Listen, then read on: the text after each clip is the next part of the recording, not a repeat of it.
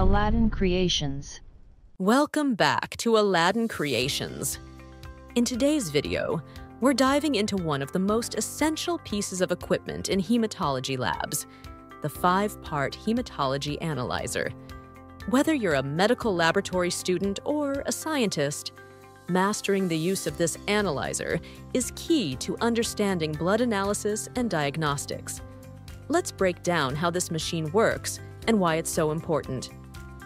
What is a five-part hematology analyzer? A five-part hematology analyzer is a specialized instrument that conducts a complete blood count, or CBC, with a five-part differential analysis. This machine not only counts red blood cells, white blood cells, and platelets, but it also provides an in-depth breakdown of the five types of white blood cells, neutrophils, lymphocytes, monocytes, eosinophils, and basophils.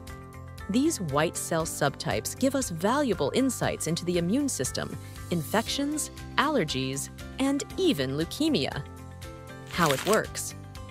So, how does it work? The five-part hematology analyzer uses advanced technologies like flow cytometry and fluorescence flow cytometry to differentiate between the white blood cell types.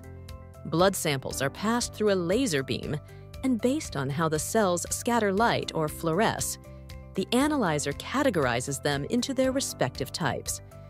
This method provides highly accurate and reliable results, helping clinicians make informed diagnoses. Key features and advantages. What sets the five-part analyzer apart? Aside from its detailed WBC differential, these machines can process a high number of samples per hour, making them ideal for busy labs. They also offer automatic reticulocyte counts, flagging abnormal results such as anemia or infection. These analyzers are essential tools in diagnosing a wide range of conditions, from blood disorders to immune system imbalances. Understanding how to operate a five-part hematology analyzer is critical for anyone in the field of hematology. With its ability to provide a comprehensive view of blood components, this analyzer plays a key role in diagnostics and patient care. Be sure to subscribe for more insights into lab technologies, and we'll see you in the next video.